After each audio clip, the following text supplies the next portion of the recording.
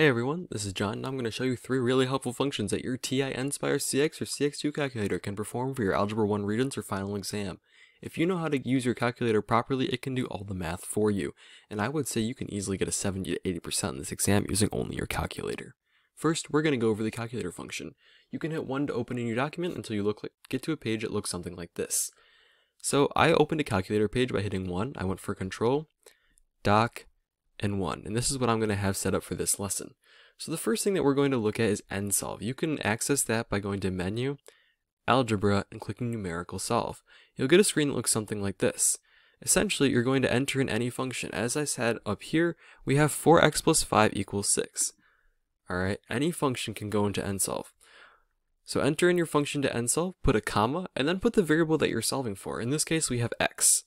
It'll then spit out what your answer is after you hit enter, which is 0.25 in this case. Now let's take a look at the next function in the list, which is linsolve. Again, we're going to 3 and then 2. It's going to ask you how many equations you want, and then ask you what variables you want. You're going to hit OK, and it's going to give you something like this. You're going to put your first equation in the top and your second equation in the bottom. If you have more than one, it'll display a third box, and then a fourth box, and so on. I just put in two simple equations here. Again, they must be linear, and then it spit out this answer for me. Polyroots is the third equation that we're going to go over, the third function that we're going to go over, and it's 3, 3, and you always hit 1. Never use 2 or 3 there. Now, in Algebra 1, you're probably not going to see anything beyond a quadratic, which has a degree of 2. A linear function has a degree of 1, and a constant has a degree of 0. If you have real roots, the way that you decide if you have a real or complex root is very simple. Firstly, graph your function. If the function crosses the x-axis the same number of times as the degree, choose real. If not, choose complex. Or if it has a bounce, that counts as 2. So you're going to select that. In my case, we'll go real and hit OK. Now you're simply just going to put in the different coefficients to each of your function values. If it's not in order, let's say you've got a function that's like 5x plus 3x squared, pretty simple. Just rearrange it so that it's in order of degree. So 2, and then 1, and then x to the 0, which is of course 1, so it's just a0 times 1, which is a0. Now this is the function that I put in there, which is 6x squared plus 3x minus 5. Then I put my comma again in x. Alright, and this is the function I got. So this would be the roots of the function here. Let's move on to graphing. So I graphed two functions here. The first one I graphed was 6 times x squared plus 7x minus 8. And the way you can do that is simply by double clicking and then entering in your function. It'll show up something like this. I can also alter the window. If I go to window zoom, I can either zoom in or I can zoom out using the same idea. Now we can also go to window settings and set our own thing. Notice that if we zoom in or out, it gives us these weird numbers. And let's say I just want to go from 0, negative 4 to 8.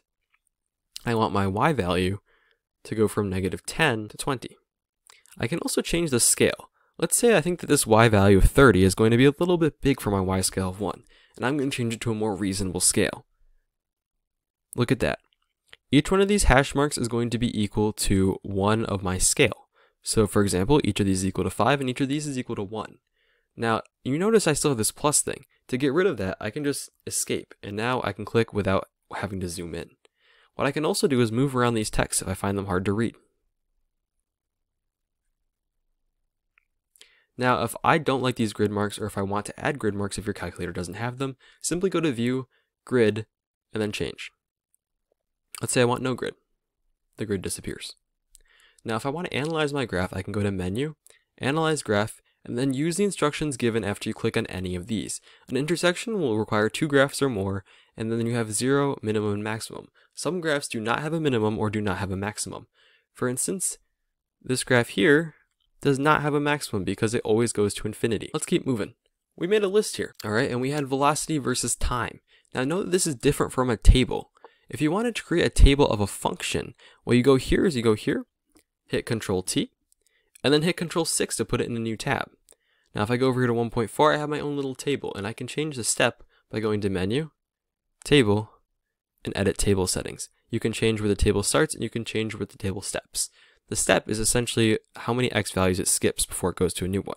If I change this to 0.5, then the values 1.5, 2.5, and 3.5 would show up on my table. Let's keep moving by looking at this list.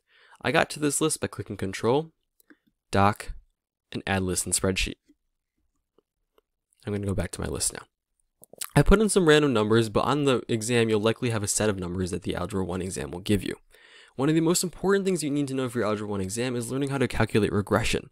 To do that, we're going to hit Menu, Control Doc, and then Add Data and Statistics. On the X axis, you're going to put your dependent variable. On the y-axis, you're going to put your independent variable. And you see we get this graph that's just not quite linear, but it looks pretty much like a line, so I'm going to go with linear regression. To get to regression, hit Menu, Analyze, Regression, and then the type of graph that you want. I'm going to go linear because it looks like a line. Now this is a little bit of a funky graph and oftentimes they'll ask you to round or truncate these values. Now one final thing we can do is statistics. Let's say we have that value t and we want to find the average value of t. We're going to do statistics, stat calculations, and one variable statistics. Now we have one list and we're trying to find t. So t is from that list that we made in the other page and that's how you're going to find this.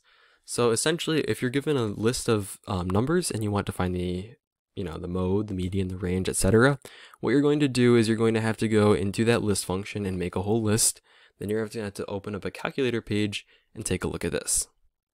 It'll give you some useful statistics like your minimum, your first quartile or median, and your third quartile. So this is pretty much all you really need to know for your Algebra 1 exam. Of course, make sure that you know how to use the basic functions and make sure you know your PEMDAS and order of operations, but that's about it. Thanks for watching and good luck on your final.